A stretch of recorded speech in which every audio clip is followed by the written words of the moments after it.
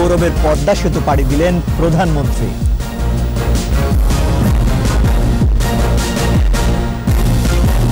পদ্মাপাড়ে লাখো মানুষের ঢল, ষড়যন্ত্রকারীরা উপযুক্ত জবাব পেয়েছে শিবচরের জনসভায় শেখ হাসিনা। আবার পদ্মা সেতু নির্মাণ কাজ শুরু করি। তখন তারা কি বলেছিল? বলেছিল আওয়ামী কোনোদিন নাকি পদ্মা সেতু করতে পারবে না। খালেদা জিয়াকে জিজ্ঞাসা করি, আসুন, দেখে যান, পদ্মা সেতু নির্মাণ হয়েছে কি না দেশ জুড়ে উচ্ছ্বাস, আনন্দ মিছিল, আরও একটি বড় অর্জন উদযাপনে বাঙালি।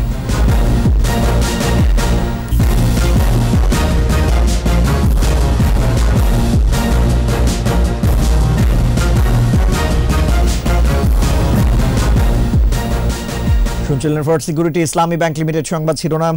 আমন্ত্রণ জানাচ্ছি একুশের দেশের সংবাদে। আপনাদের সাথে আছি রিশান মাহমুদ। দর্শক, একুশে টেলিভিশনের সংবাদ একই সাথে সরাসরি দেখতে পাবেন আমাদের Facebook page W W W dot Facebook dot com slash Ekushey twenty four অনলাইনে মর্যাদার পদ্মা সেতু উদ্বোধন করে দক্ষিণ দুয়ার খুলে দিলেন প্রধানমন্ত্রী শেখ হাসিনা। নামফলক উন্মোচনের পর সারা দেশেই ছড়িয়ে পড়ে খুশির জোয়ার। পদ্মাপাড়ে দাঁড়িয়ে আরও একটি বিজয়ের স্লোগান দিলেন কন্যা সাহসিকা। বাকিটা জানাচ্ছেন আকবর হোসেন সুমন।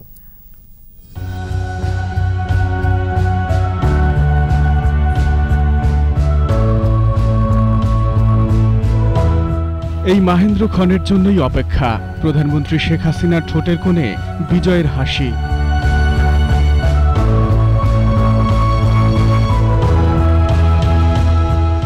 নামফলক উন্মোচন মঞ্চে প্রধানমন্ত্রীর সাথে ছিলেন কন্যা সাইমা ওয়াজেদ। ছিলেন সাবেক যোগাযোগ মন্ত্রী আবুল হোসেন ও সচিব মোশারফ হোসেন। সবার মাঝে যেন যুদ্ধ জয়ের আনন্দ।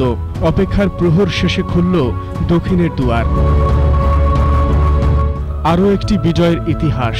প্রধানমন্ত্রীর কণ্ঠেও তাই বিজয়ের স্লোগান।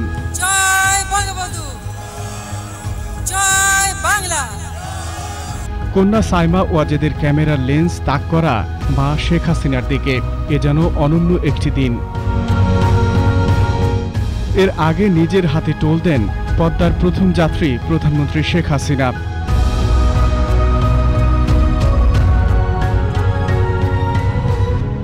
সেতু পার হয়ে প্রধানমন্ত্রীর গাড়িবহর সোজা চলে যায় জাজিরা প্রান্তে। সেখানেও উদ্বোধনের আরেকটি আনুষ্ঠানিকতা, ফলক উন্মোচনের পর পদ্মা পাড়ে খুশির জোয়ার। আকাশে তখন রঙের মেলা, খুশির এই রং ছড়িয়ে পড়ে সব প্রাণে। আকবর হোসেন সুমন, একুশে টেলিভিশন, ঢাকা। মাওয়াপ্রান্তে নামফলক উন্মোচনের পর প্রধানমন্ত্রী শেখ হাসিনা নামলেন পদ্মা সেতুর মাঝামাঝি। সাথে কন্যা সাইমা ওয়াজেদ পুতুল। সেতুমন্ত্রী ওবায়দুল কাদের, সাবেক মন্ত্রী সৈয়দ আবুল হোসেন সহ সফর সঙ্গীরাও নামলেন সেতুতে। সবার মাঝে যেন অন্যরকম এক অনুভূতি, উচ্ছ্বাস ছুঁয়ে যায় সবার মনে। আরও জানাচ্ছেন মানিক শিকদার।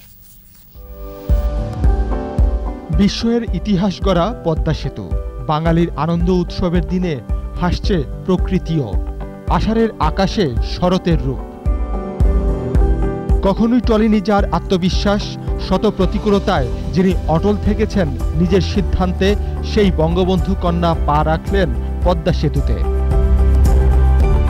প্রধানমন্ত্রীর গাড়িবহর মাওয়া প্রান্ত থেকে যাত্রা শুরু করার কিছু দূর পর গিয়ে থামে। সেতুতে নামেন প্রধানমন্ত্রী, হেঁটে হেঁটে দেখতে থাকেন সেতুর নান্দনিক সৌন্দর্য। কন্যা সাইমা ওয়াজেদের লেন্সে মাঝে মাঝেই আটকে যান মা শেখ হাসিনা। বিমান বাহিনীর হেলিকপ্টার ও বিমান তখন নীল আকাশে লাল সবুজের পতাকা উড়িয়ে দিয়েছে। পদ্মার আকাশে যেন বিজয়ের সুর। ষড়যন্ত্রের অপবাদ নিয়ে যাদেরকে সরে যেতে হয়েছিল, সেই সাবেক মন্ত্রী আবুল হোসেন ও সচিব মোশাররফ হোসেন ভুইয়াও ছিলেন প্রধানমন্ত্রীর পদ্মা সেতু পার হওয়ার সাথী। মানিক শিকদার, একুশে টেলিভিশন, ঢাকা। জনগণের ভাগ্য পরিবর্তনে সব ধরনের ত্যাগ স্বীকার করতে প্রস্তুত প্রধানমন্ত্রী শেখ হাসিনা। গৌরবের পদ্মা সেতুর উদ্বোধনী জনসভায় মানুষের ভাগ্য উন্নয়নের ওয়াদা করেন সরকার প্রধান। মাদারীপুরের শিবচরের কাঁঠালবাড়ি ঘাটে অবিস্মরণীয় জনসভায় ষড়যন্ত্রকারীদের মুখোশ উন্মোচন করে আজীবন জনগণের সঙ্গে থাকার প্রতিশ্রুতি ব্যক্ত করেন বঙ্গবন্ধু কন্যা। শিবচর থেকে বিস্তারিত জানাচ্ছেন ফরজানা শোভা।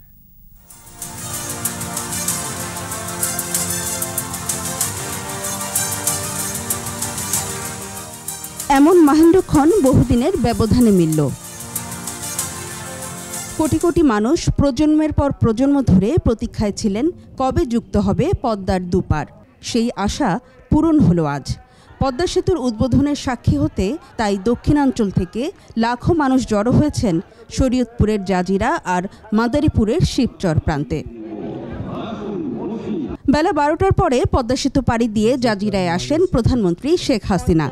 ফলক উন্মোচন করে উদ্বোধন করেন গর্বিত পদ্মা সেতুর।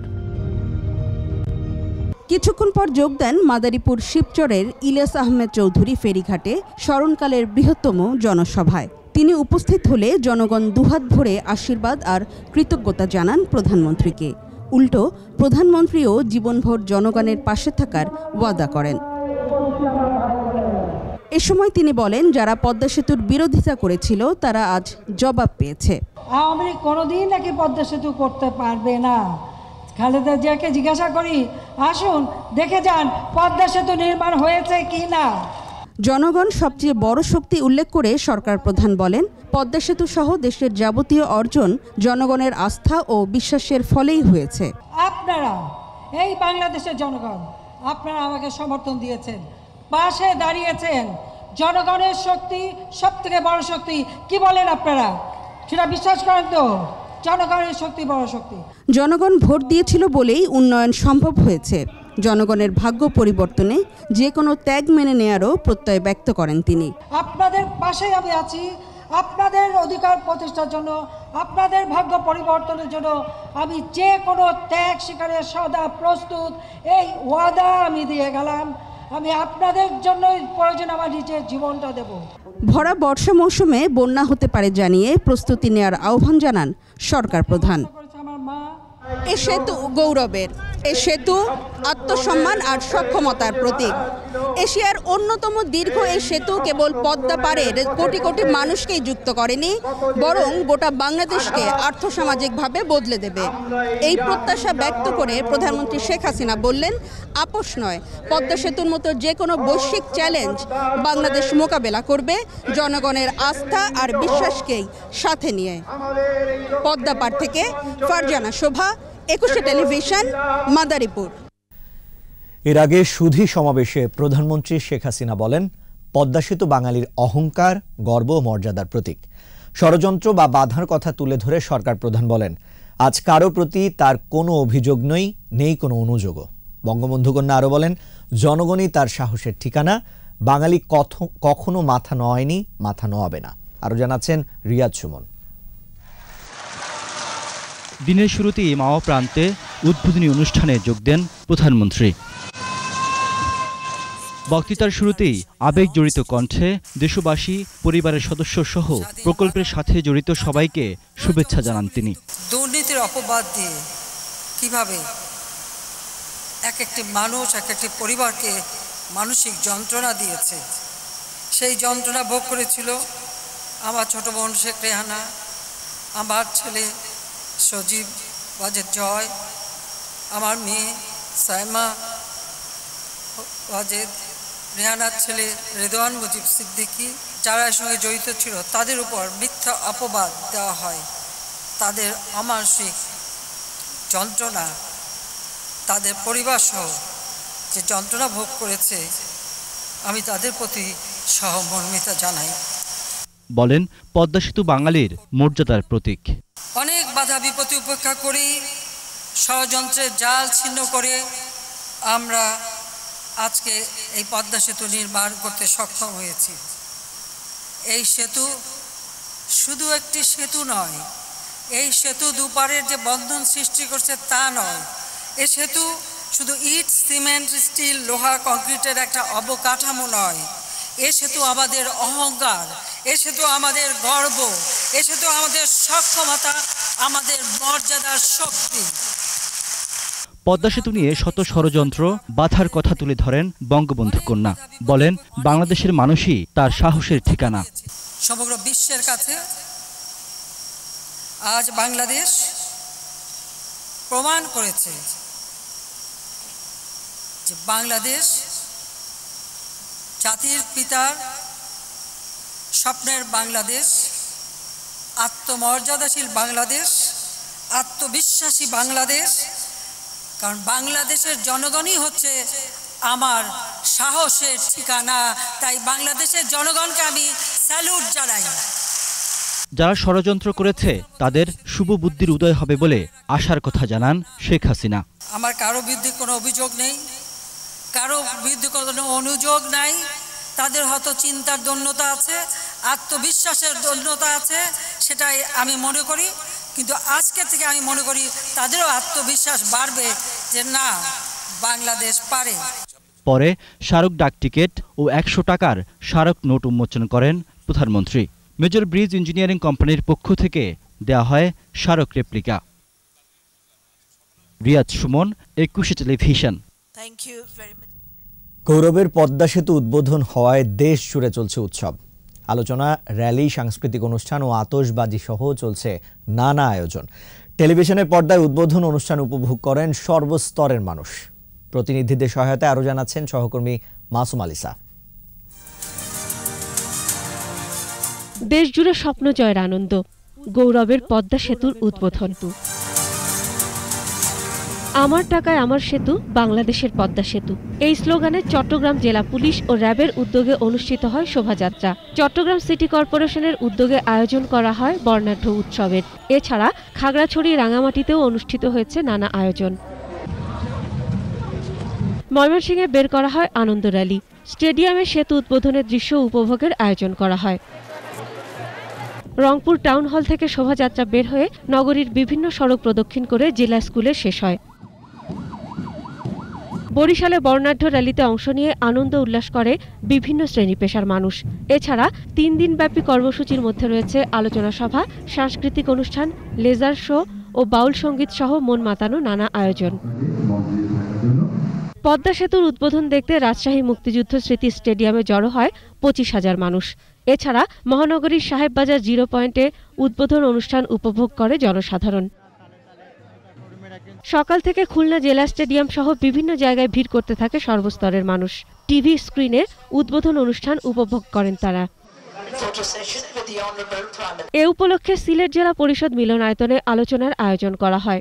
বন্যার কারণে সিলেট ও মৌলভীবাজারে আনন্দ উৎসব বাতিল করা হয়েছে। গোপালগঞ্জে আনন্দ শোভাযাত্রা বিভিন্ন সড়ক প্রদক্ষিণ করে। ঝিনাইদহে নির্মাণ করা হয়েছে প্রতীকী পদ্মা সেতু। আলোকসজ্জা করা হয়েছে পুরো শহর জুড়ে। নাটোরে মিষ্টি বিতরণ ও বর্ণাঢ্য শোভাযাত্রা সহ আলোচনা সভা হয়েছে। আওয়ামী লীগ কার্যালয়ে জাতীয় দলীয় পতাকা উত্তোলন এবং বঙ্গবন্ধুর প্রতিকৃতিতে পুষ্পমাল্য অর্পণ করা হয়। যশোর, মেহেরপুর, চুয়াডাঙ্গা, মৌলভীবাজার, ভোলা, বাগেরহাট, বরগুনা, ব্রাহ্মণবাড়িয়া, গাজীপুর, নরসিংদী, চাঁদপুর, লক্ষ্মীপুর, জয়পুরহাট, নেত্রকোনা, নোয়াখালী, জামালপুর, মাগুরা ও কুয়াকাটায় হয়েছে র্যালি ও আলোচনা সভা। এছাড়া নানা আয়োজন ছিল সাভার, সাতক্ষীরা, পিরোজপুর, রাজবাড়ী, কুড়িগ্রাম, দিনাজপুর, নীলফামারী, ঠাকুরগাঁও সহ দেশের সব জায়গায়। মাসুম আলিসা একুশে টেলিভিশন। বিরতি নিচ্ছি, ফিরছি অন্যান্য খবর নিয়ে, সাথেই থাকুন।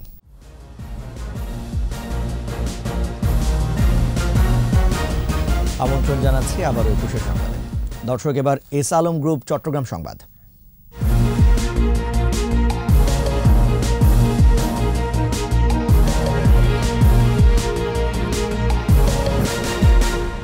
চট্টগ্রামে আল আরাফা ইসলামী ব্যাংকের ইনভেস্টমেন্ট ম্যানেজমেন্ট ইন এআইবিএল শীর্ষক প্রশিক্ষণ কর্মশালা অনুষ্ঠিত হয়েছে।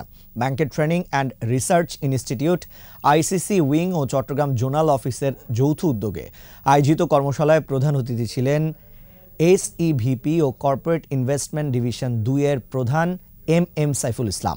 Chattogram zonal head Mohammad আজমের সভাপতিত্বে অনুষ্ঠানে অন্যান্যদের মধ্যে কর্পোরেট ইনভেস্টমেন্ট ডিভিশন দুইয়ের ভিপি তহিদুল ইসলাম ও ট্রেনিং ইনস্টিটিউট অ্যান্ড রিসার্চ সেন্টারের এভিপি এস এম জুলকার উপস্থিত ছিলেন। কর্মশালায় চট্টগ্রাম জোনের সাঁত্রিশ শাখার ব্যবস্থাপক সহ কর্মকর্তারা অংশ নেয়। দর্শক, এরই সাথে শেষ করছি একুশের দেশের সংবাদ। যাবার আগে first security Islami bank limited সংবাদ শিরোনামগুলো আরও একবার।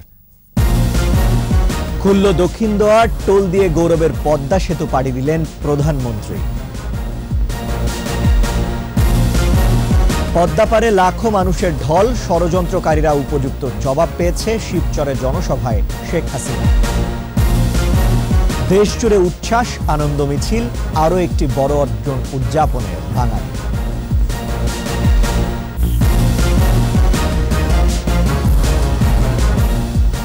দর্শক, সর্বশেষ খবর জানতে ডায়াল করুন টু জিরো টু ওয়ান নম্বরে ভিজিট করুন একুশে ড্যাশ টিভি ডট কম এই ওয়েবসাইটে এছাড়া ফেসবুকে লগ ইন করতে পারেন।